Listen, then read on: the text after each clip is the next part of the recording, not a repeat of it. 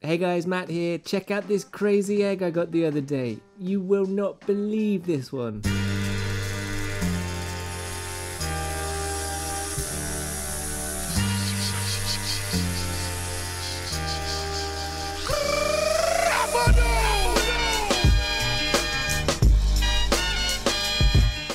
Oh my gosh. Yep, that's right, I'm having a mother freaking baby. My long suffering wife is now six months pregnant, so that means that in three months I'm gonna be a father. Jesus H. Christ.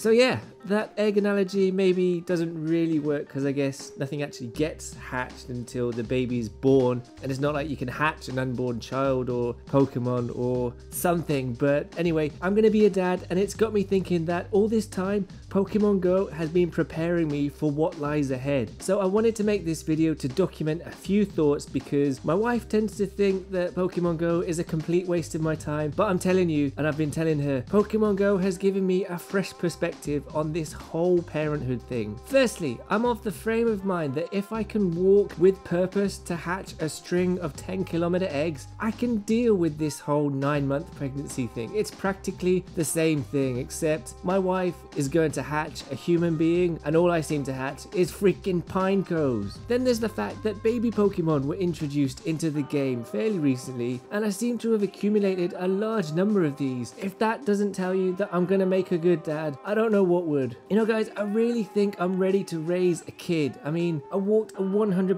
Eevee for more than 10 kilometers. We laughed and played and hung out together for that whole journey, and then I evolved her into an Espeon and watched like any caring father would as she was powered up to near mythic levels, ready to go out into the big wide world herself and take down gyms. This all seems like it's related to real life parenthood. Because you know, I think I already have a healthy hobby for my unborn son. Yep, didn't mention, but it's a boy. I already have a healthy hobby for him to get into. He's going to be born into a family of Pokemon trainers. Well, a family of me as a Pokemon trainer and my wife who kind of used to play a bit but now hates the game so much. But forget about that. He will be able to continue the family business of catching Pokemon and even making stupid YouTube videos like this one or some of my previous offerings.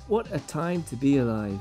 And you know, by the time my son is actually old enough to play Pokemon Go, Niantic might have even fixed the game and introduced player versus player battles and trading. What a time that will be! Although it's probably not going to be for a few years yet, so I'm not holding my breath on that one. Some people might say that nothing prepares you for getting woken up in the middle of the night to change a nappy. A nappy, that's a diaper for my American viewers. But I've been known to get out of bed in the middle of the night to go and catch a Blastoise or whatever Pokemon was just up the road that I had to get dressed for and go out into the freezing cold or the rain or both. So I'm well prepared for disruptions to my sleeping habits. I've got that one locked down already. Plus, I know exactly what to feed a baby to. Razz Berries for breakfast, Pinap berries for lunch, and Nanab berries for dinner. Sorted. Most of all though, if Pokemon Go has taught me one thing, it's that the game and life in general are what you make it, and that's exactly what I'm gonna teach my kids kid. So that's it for this episode. It was just a little short one for me to ramble and throw some random slides together and to basically announce that I'm going to be having a mother freaking baby and I'm really not prepared for it yet, but it's happening and I got to deal with it.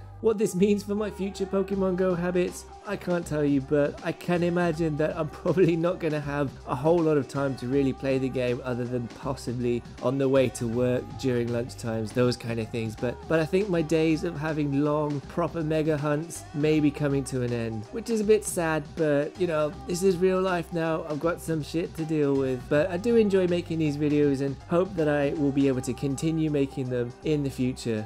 But yeah, that's going to do it for this one. I'm sure there will be more baby related ramblings coming in the future. Please don't forget to subscribe. It would really mean a lot if you could just hit that subscribe button. And I'll see you again soon. Peace out.